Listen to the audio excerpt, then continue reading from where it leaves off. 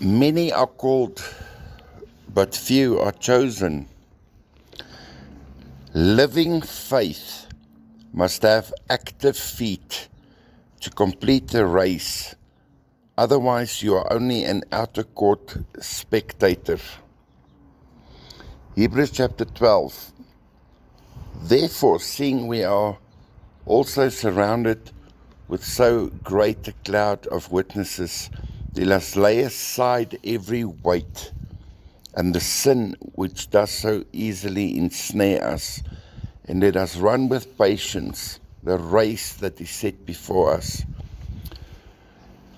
Looking unto Jesus, the author and the perfecter or finisher of our faith, who for the joy that was set before him endured the cross, despising the shame, and is seated at the right hand of the throne of God. And we are called to walk in the same.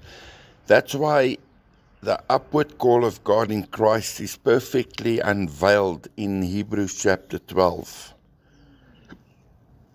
And Jesus is the example. The upward call of God in Christ was demonstrated in the life of Jesus. Because we are called to mature as manifested sons. And after he completed his race through his example, he sat down at the right hand of the Father and he presents the overcomer a place with him in his throne. But we must compete according to the rules laid down in Philippians 2, Philippians 3, Hebrews 12, and Mark 10, verse 37 to 40. You see, and this is why it is said in Philippians 2 Let this mind be in you, which was also in Christ, for the joy set before him endured the cross he humbled himself, became obedient to the point of death. Therefore, God exalted him to the highest place. And we are called to walk in the same. Philippians 3, it is demonstrated in the life of the Apostle Paul as a forerunner. Forgetting the things that are behind, and I press on to take hold of that for which Christ took hold of me, answering the upward call of God in Christ unto fruitful, mature, overcoming sonship. And then we are crowned with a victor's crown. We have to complete the race first. This is what Jesus says in Revelation 3:21, to him that overcomes will I grant to sit with me in my throne, even as I also overcame and sat down with my father in his throne.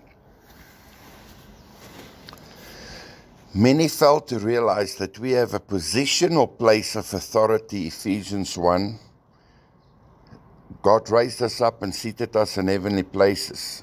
It's a positional place of authority given to us through the finished work of His cross which then must become an experiential reality worked in us as we seek to have a truthful testimony as an overcomer. And this is why Philippians 1 6 says, He who began a good work in you is faithful to complete it until the day of Jesus Christ.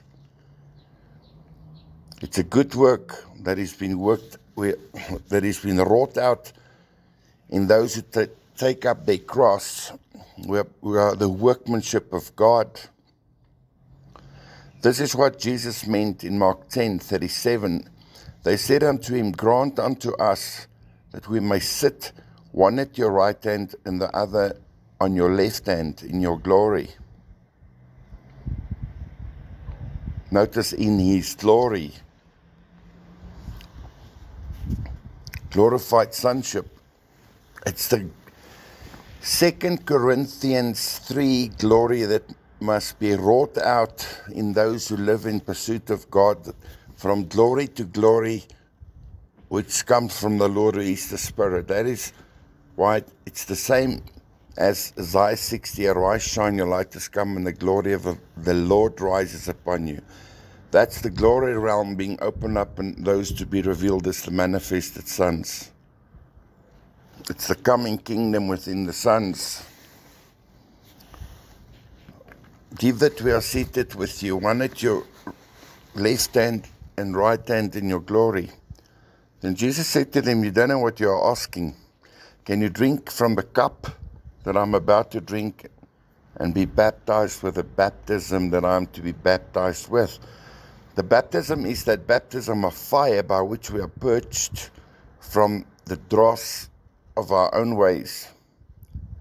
And the, bap- uh, the baptism is that baptism of fire by which we are purged from the dross of our own ways through various trials. And the cup is the Gethsemane cup of self denial. We choose to suffer laying down our will, which is in rebellion against God's will, so that the will of God might be wrought out in us, by which He is glorified and we being rewarded with an eternal weight of glory as manifested sons of God. Procrastination is the devil's playground. God, through a powerful open vision, showed me the Gideon army bowed down and on their faces before his throne, and these soldiers were drinking from his river in adoration and worship because they hungered and thirsted after righteousness and holiness. These were not preoccupied by the things of this world. Then the great God Yahweh said to me, Many are called, but only few are chosen. Many are called, but so few humble themselves to come down to the water level of humility, to drink from the flow of my river, so I might raise them up, as Paul said to Timothy, a good soldier of Jesus Christ. As with Gideon's army, God will sift out this generation and raise up an army unto himself that will do, his, that will do his bidding.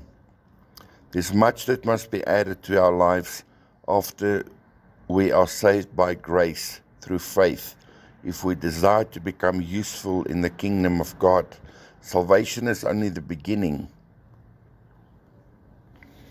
Faith without obedience is dead and meaningless.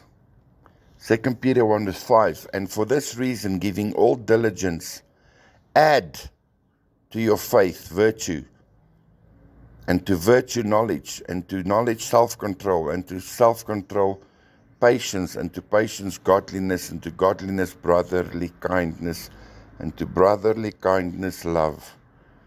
For if these things be in you and abound, they make you that you shall neither be barren nor unfruitful in the knowledge of our Lord Jesus Christ. In other words, we grow we grow to become like him through our knowledge of him as we spend time daily in his presence through personal relationship. You get to know somebody when you spend time with that person. Verse 9 But he that lacks these things is blind and cannot see afar off, and has forgotten that he was purged from his old sins. Therefore, rather, brethren, give diligence to make your calling and election sure. For if you do these things, you, will never, you shall never fail, or you shall never fall. For so an entrance shall be provided unto you abundantly into the everlasting kingdom of our Lord and Savior Jesus Christ. Are you a disciple or just a born again civilian?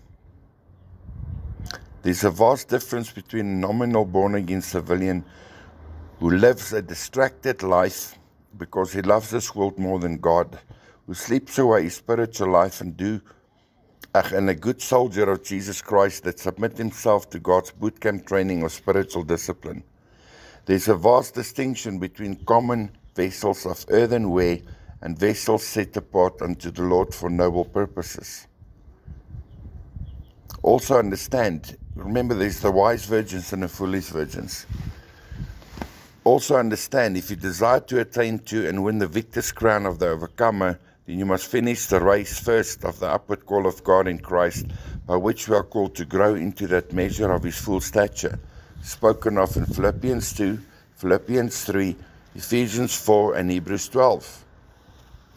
You must abide by and compete according to the rules, or you will be disqualified we are in a struggle by which we compete with our sinful fallen flesh to bring it into subjection by the operation and the power of the Spirit in our lives, and we are in a wrestling match with the Ephesians 6 forces of darkness. Remember, you choose to be a born again civilian, distracted by the affairs of this life, or you become a soldier of Jesus Christ. Finally, my brethren, be strong in the Lord and the power of his might. Put on the whole armor of God, that you may be able to stand against the wiles of the devil, because we wrestle not against flesh and blood, but against principalities, powers, rulers of darkness, and spiritual wickedness in high places. We are called to overcome. Are you giving diligence to make your calling and election sure? We have a race to complete. 1 Corinthians 9 24 to 27. Do you not know that in a race all the runners run their very best to win, but only one receives the prize? Run your race in such a way that you may seize the prize and make it yours. Now, every athlete who goes into training and competes in the games is disciplined and exercises self control in all things. They do it to win a crown that withers, but we do to receive an imperishable crown that cannot wither. Therefore, I do not run without a definite goal. I do not flail around like one beating the air. In other words, shadow boxing. But I, but like a boxer, I strictly discipline my body and make it my slave. And this comes even through prayer and fasting. So that after I've preached the others, the gospel to others, I myself will not somehow be disqualified as unfit for service. 2 Timothy 2 Take with me, Paul says to Timothy, your share of hardship passing through the difficulties which you are called to endure like a good soldier of Jesus Christ. No soldier in active service gets entangled in the ordinary business affairs of civilian life he avoids them so that he may please the one who enlisted him to serve. And if anyone competes as an athlete in competitive games, he is not crowned with the wreath of glory unless he competes according to the rules.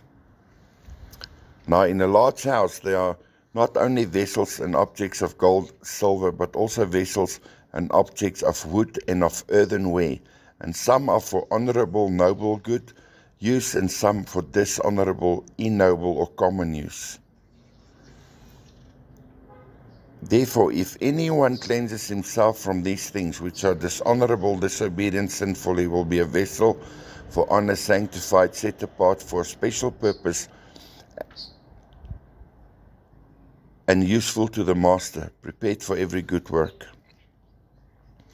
Run away from youthful lust. Pursue righteousness, faith, love, and peace with those believers who call on the Lord out of a pure heart. Understand that you are no threat to the kingdom of darkness when you are settled in your hard and complacent lifestyle of carnality and when you are imprisoned and driven by fleshly lusts. We are cleansed through the washing of the water of God's word as we apply it in humble obedience to our lives. Otherwise, we stay spiritually blind. 1 Peter 1:22 seeing that you have purified your souls in obeying the truth through the spirit to unfeigned love of the brothers see that you love one another with a pure heart fervently being born again not of corruptible seed but of incorruptible by the word of God which lives and stays forever now, God wants to bring forth a harvest of righteousness through the seed of your life. It's not just about getting saved, then go on living for yourself, being driven and enslaved and imprisoned by our own desires. God's kingdom is a kingdom of multiplication. Matthew, Matthew 3 7. But when Jesus saw many of the Pharisees and Sadducees come to his baptism, he said unto them, O generation of vipers, who has warned? But when John saw, sorry, generation of vipers, who warned you to flee from the coming wrath, bring forth therefore fruits befitting for repentance. In other words, show that you have converted yourselves towards God by turning away from your willful sinning especially the sins that leads to death like fornication.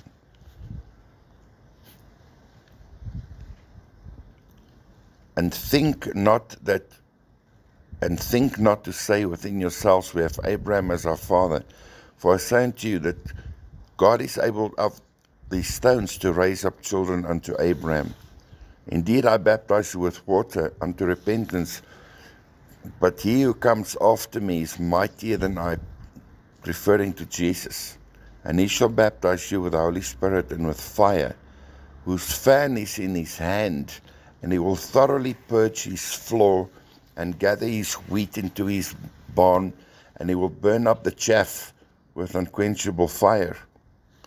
We must allow ourselves to be purged from the dross of our own ways on the threshing floor of the Father, so he might bring forth the life of Jesus in us, which are the peaceful fruits of righteousness. Otherwise, we stay undisciplined, unruly, lawless sons and daughters that lives in rebellion against God.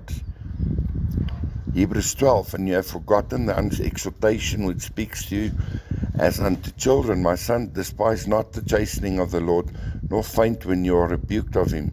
For whom the Lord loves, he chastens and scourges every son whom he receives. If you endure chastening, God deals with you as with sons. For what son is he whom the Father chastens not?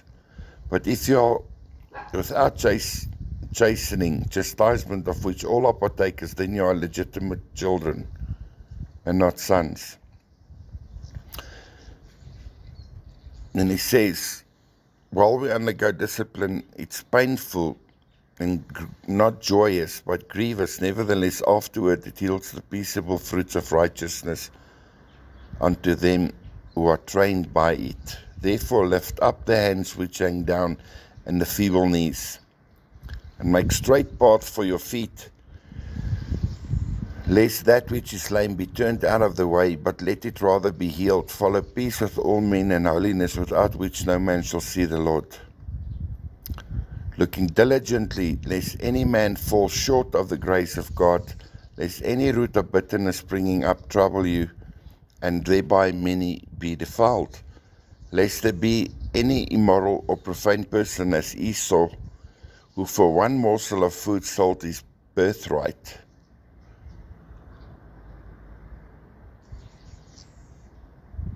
Many today are selling their kingdom birthright like Esau for the pot of lentils, which speaks of fleshly desires. In other words, they live for themselves. They're born again. They love God. They are saved, but they live to satisfy their flesh, the pot of lentil soup. And by doing that, they forfeit the kingdom birthright of becoming a functioning heir and an overcomer that will be counted worthy to sit with Christ in his throne. This is the context of this Hebrews 12. God's kingdom is a ruling kingdom. It's not for babes or toddlers, but for those who are brought to maturity. It is a righteous work wrought out and accomplished in us by the Spirit of holiness. The only responsibility we owe the flesh is to give it a decent burial to the Spirit of God.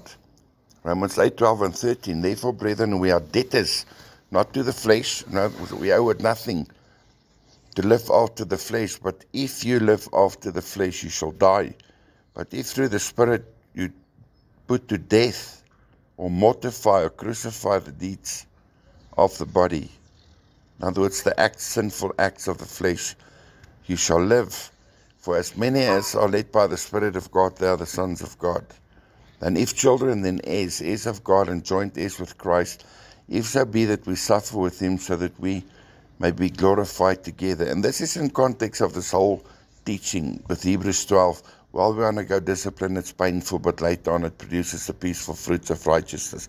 Because God calls us to, to answer the upward call of God in Christ unto mature sonship. Hebrews 2 declares for the desires, the Father's desire is to bring many sons to glory. But many of most are complacent.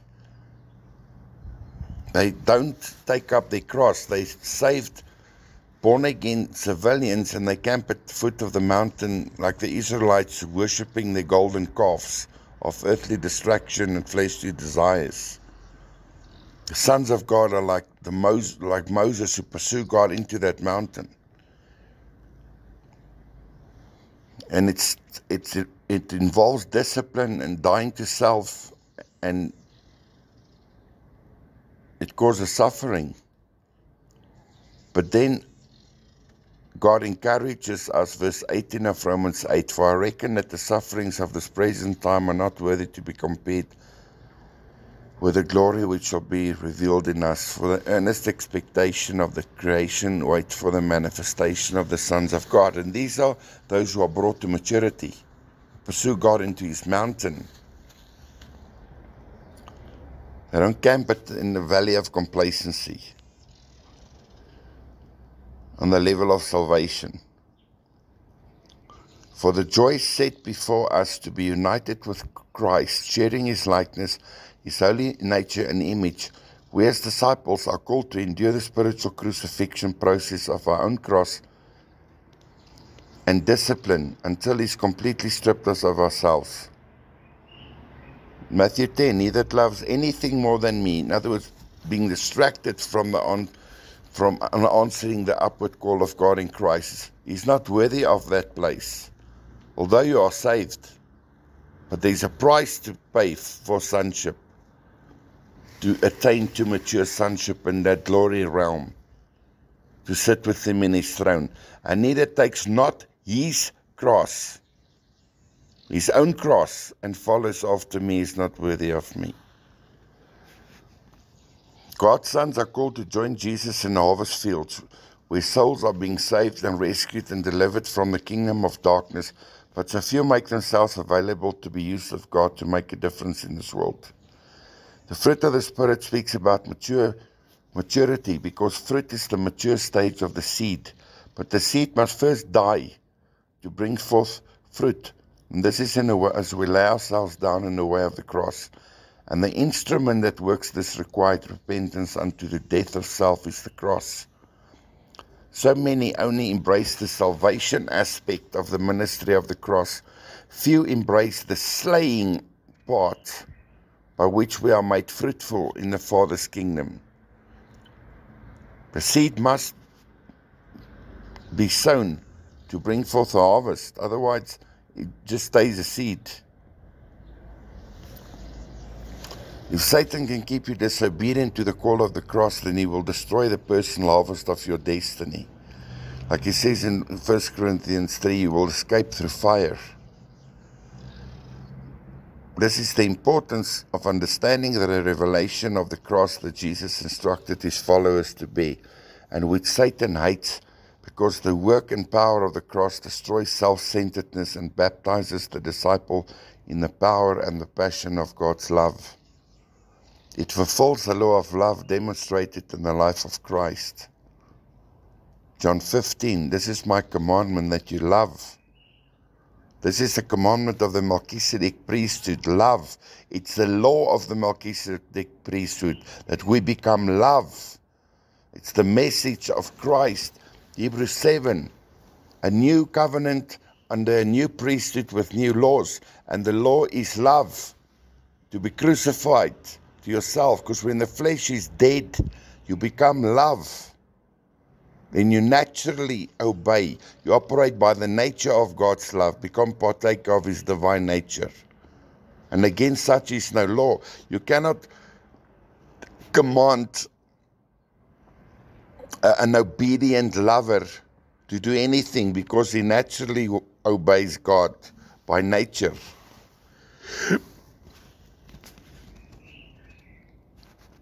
The law of love. And that's why it's a war. By, by, by allowing a personal invasion of the Word of God Jesus Christ into your life. Hebrews 4 verse 12 The word of God is alive and active and sharper than any two edged sword, piercing even to the dividing asunder between spirit, soul, joints, and marrow. In other words, you must allow Him to cut yourself, the self, the flesh, into pieces. It's the circumcision of the heart to cut away everything fleshly, earthly, sensual, fallen, and devilish. It's like the outer court of the veil, or the inner court realm, the veil that separates the soul from the Holy of Holies, must be ripped open from top to bottom through the death of self so that you can enter the glory of God and His glory can enter you and you become one with Him in vision, desire, and purpose, and that you may see Him clearly. Like the man that was born blind in John chapter 9 that the works of God might be displayed in his life because the gospel is illustrated in that man's life. We are born again, but we're spiritually blind. And then we have to obey because God calls us or sends us daily to the bath of Bethesda, which is the Ephesians 5 25, cleansing us through the washing of the water through the word. And the reason why Jesus spat in the dirt, God said to me, is because we are all blinded by the dirt of this world.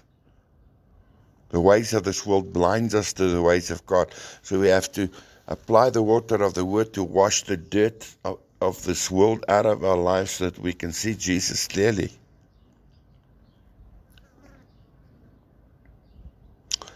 You see, in the law of Christ, a new commandment give I give unto you, new priesthood with new laws. A new commandment I give unto you, that you love as I have loved you. No greater love is a man than to lay down his life for his friends. It's the way of the cross. It's the gospel of the cross. Christ crucified. We are called to lay ourselves down in the way of the cross in obedience to Christ and to the death of self. Because when self is crucified, there is no law. It's the law of love fulfilled in us. And love is the fulfillment of the law. Christ is the end of the law. And we become like Him. We become partakers of His divine nature because love is a fruit of the Spirit. And we grow in love. We begin with a born again seed. Love, which is a fruit of the Spirit, is the mature stage of the born again seed. But for the born again seed to become love, it must be crucified to self. It must fall into the ground and dies answering the upward call of God in Christ. Like any seed, if it desires to bring forth fruits, if it desires to produce the harvest, invested in it, hidden in it, locked away in it, the principle of a seed, then the seed must be sown. It must fall into the ground and dies. Like Jesus said in John 14 12, unless the kernel of wheat falls into the ground, the ground, it remains a single seed. In other words, you're a born again baby of the incorruptible seed of the word of God, but you are selfish and self centered and live for yourself, and you are offended at the price that love requires. Because to become love, you must follow Jesus in the way of the cross and allow the, the, the slaying aspect of the cross to put you to death, to bring you to the end of yourself mortifying the deeds of the body, like it says in Colossians 3 as well. And this is a part of the gospel that few understand and apply to their lives.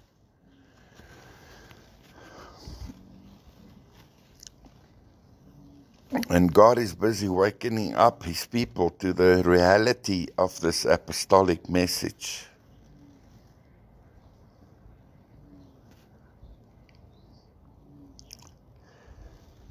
The Spirit of God showed me the following about this end time harvest that's coming forth out of the bride. Matthew 13 24. Another parable put he forth unto them, saying, The kingdom of heaven is likened unto a man who sowed good seeds in the field, his field. But while men slept, his enemy came and sowed tares among the wheat and went his way. But when the plant was sprung up, and brought forth fruit, and appeared that tares also.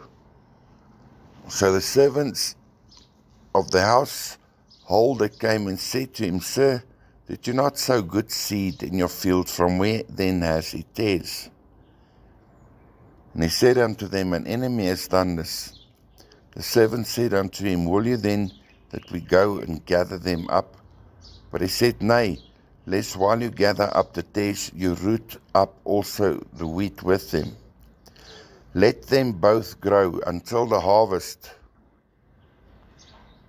And in the time of the harvest, I will say to the reapers, Gather you, the, gather, gather you together first the tares and bind them in bundles to burn them, but gather the wheat into my barn.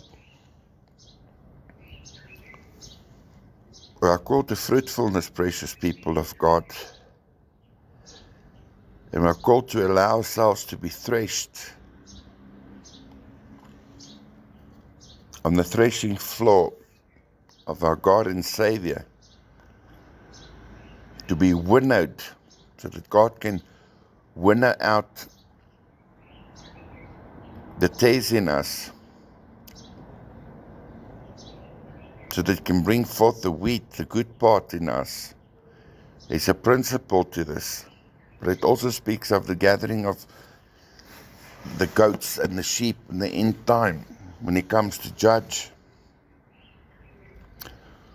But we must be threshed. God must thresh out the wheat from the tares. And this is also part why the part of the reason why the church will go through tribulation, where many miss this, because tribulation means tribulum. It means to thresh. The purpose of the shaking of nations that cause tribulation in the earth is to thresh out the wheat from the tares the threshing of the nation to gather the harvest.